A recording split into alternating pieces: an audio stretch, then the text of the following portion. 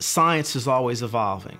You know, whether it's medical science, whether it's exercise science, there are always new studies, new information, and that's one of the reasons why we have a process where we're constantly reviewing our content and our programs to make sure that they are changing and growing as new research becomes available.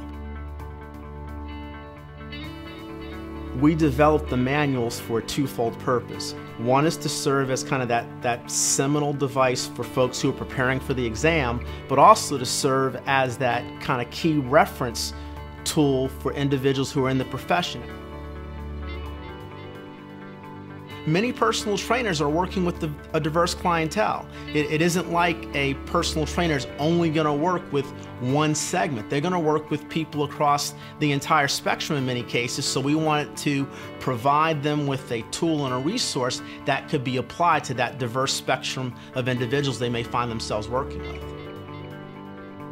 Well, the nice thing about the ACE IFT model is that it really is the most comprehensive training model that's available. And the reason being is that not only does it address the functional movement and resistance training element, which, which other models do, but it also addresses in a comprehensive fashion the cardiorespiratory component. In addition, and I think really what is kind of the secret sauce, if you will, to the ACE IFT model is that it's, it's built on the foundation of rapport.